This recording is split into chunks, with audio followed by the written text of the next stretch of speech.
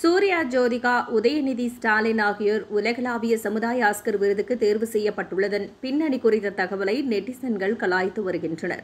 இயக்குநர் தாசே ஞானவேல் இயக்கத்தில் நடிகர் சூர்யா நடிப்பில் தொன்னூறுகளில் நடந்த உண்மை சம்பவத்தை அடிப்படையாக வைத்து எடுக்கப்பட்ட ஜெய்பீம் படம் வெளியாகி ரசிகர்களிடையே நல்ல வரவேற்பை பெற்றது. ஆண்டுதோறும் மனித சமூகங்களை வலுப்படுத்துவதில் உரிய பங்களிப்பை கொடுத்து பெரும் தாக்கத்தை ஏற்படுத்தும் சர்வதேச பிரபலங்களை அடையாளம் கண்டு உலகளாவிய சமுதாய ஆஸ்கர் விருது வழங்கப்பட்டு வருகிறது.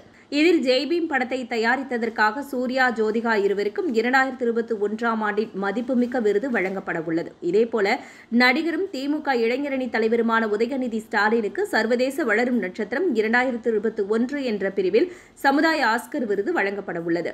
இவ்விழா அடுத்த மாதம் பத்தொன்பதாம் தேதி அமெரிக்காவின் இலினோய் மாகாணத்தில் உள்ள நேபர் வில்லேயில் நடைபெறவுள்ளது. இந்த அறிவிப்பு ஒருபுறம் இருக்க இந்த விருது பற்றியும் விருது வழங்குபவர் பற்றியும் சிறப்பு தகவல்கள் வெளியாகி உள்ளன. அதாவது உலகளாவிய சமுதாய ஆஸ்கர் விருது அமெரிக்காவில் வழங்கப்பட உள்ளதாக இருந்தாலும் இந்த விருதை வழங்குபவர் ஒரு தமிழர் என்பதுதான் அந்த சிறப்பு தகவல். சமுதாய ஆஸ்கர் விருது குறித்து சமூக வலைதளங்களிலும் இணையதளத்திலும் தேடி பார்த்த பொழுது மேலும் பல தகவல்களும் கிடைத்துள்ளன. இந்த விருதை கொடுப்பது விஜிபி என்கிற டாக்டர் விஜய்ஜி பிரபாகர் என்ற அமெரிக்க வாழ் தமிழர் ஆவார். ஏஎம்இசி என்கிற அறக்கட்டளை மூலம் விருது கொடுக்கப்படுகிறது. இந்த விஜய பிரபாகர் தமிழகத்தின் முன்னாள் ஐஏஎஸ் அதிகாரி பிரபாகர் என்பவரின் மகன். அவர் தாத்தா பெயர் பிலிப் முன்னாள் சேலம் மாவட்ட துணை கலெக்டராக பதவி வகித்தவர்.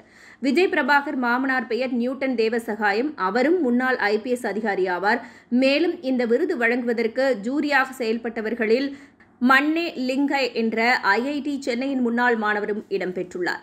இதன் அடிப்படையில் ஒரு தனியார் அமைப்பால் வழங்கப்படும் விருதை உண்மையான ஆஸ்கர் அவார்ட் போல சித்தரித்துக் கொண்டு ஒரு கட்சி சார்பு ஊடகங்கள் செய்தி வெளியிடுவதாக நெட்டிசன்கள் ட்ரால்ஸ் மூலம் பங்கமாக கலாய்த்து வருகின்றனர்.